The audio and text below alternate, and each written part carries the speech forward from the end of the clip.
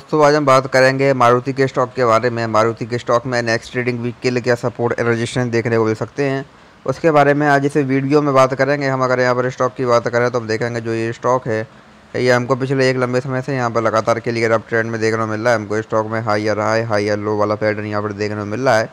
लेकिन अभी पिछले कुछ ट्रेडिंग सेशन से हमको यहाँ पर स्टॉक में गिरावट भी देखने को मिली है। आज भी हमको स्टॉक में zero point one seven percent की यहाँ पर गिरावट देखने को मिली है। यहाँ पर अच्छी बात यह है कि यहाँ पर गिरावट के बाद भी जो ये स्टॉक है, वो यहाँ पे अपने सपोर्ट के ऊपर बना हुआ है तो यहाँ से अभी अगेन हमको स्टॉक में रिकवरी भी देखने को मिल सकती है। यहाँ से अगर अब स्टॉक में रिकवरी आती है तो यहाँ से अब रिकवरी की कंडीशन में हमारे पास यहाँ पर स्टॉक में ट्वेल्व थाउज़ेंड थ्री हंड्रेड का पहला यहाँ पर रजिस्ट्रेशन देख, देखने को मिलेगा। अगर स्टॉक ने इसको ब्रेक किया देन यहाँ से हमको स्टॉक में अगेन एक बड़ी तेज़ी, एक बड़ी बाइंग यहाँ पर देखने को मिल सकती है। इसके बाद हमको यहाँ पर स्टॉक में thirteen thousand six hundred then यहाँ से हमको स्टॉक में फोर्टीन थाउज़ेंड और फिफ्टीन सिक्सटीन थाउज़ेंड तक के लेवल्स भी यहाँ से अभी देखने को मिल सकते हैं।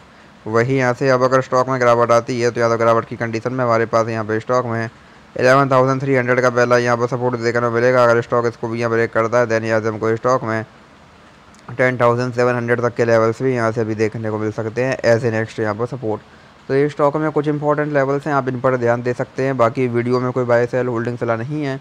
वीडियो केवल एजुकेशनल पर्पज़ के लिए धन्यवाद।